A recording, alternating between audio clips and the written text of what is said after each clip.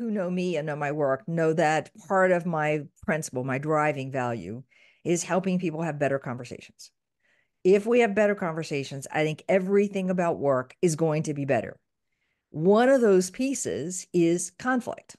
Mm-hmm. If we can do that better, we're going to have a whole something a lot easier, ton easier, and without that stress and worry. And I go home and I can't sleep and I overfret, and you know, it's just a piece of the puzzle.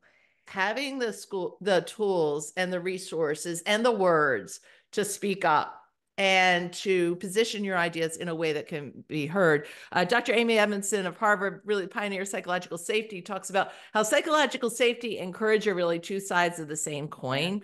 And this is not necessarily a leadership book. Our other books have been culture and leadership books. This book is for every human being ever who's ever had a difficult co- coworker, a difficult boss, a challenging scenario uh, with uh, you know changing workplace dynamics, overwhelmed with priorities. Mm-hmm. That this mm-hmm. book is for them.